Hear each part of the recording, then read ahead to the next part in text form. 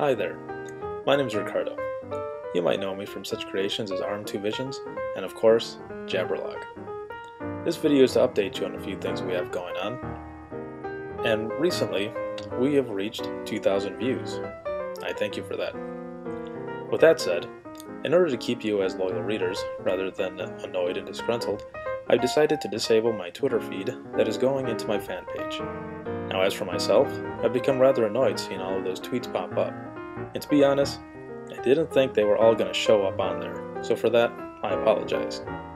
Also, the automatic postings will now only go to my Twitter page and the fan page only. You will no longer see this on my personal wall, and this will cut down on multiple posts that you receive as well. Thanks again for reading up on Jabberlog, and there's more to come. For those of you that have been keeping up on the Diaper Wars saga, there's a giveaway coming up soon with specifics to follow within the next couple days. And that, of course, is brought to you in part by Jabberlog and EcoBuds. Have a good day.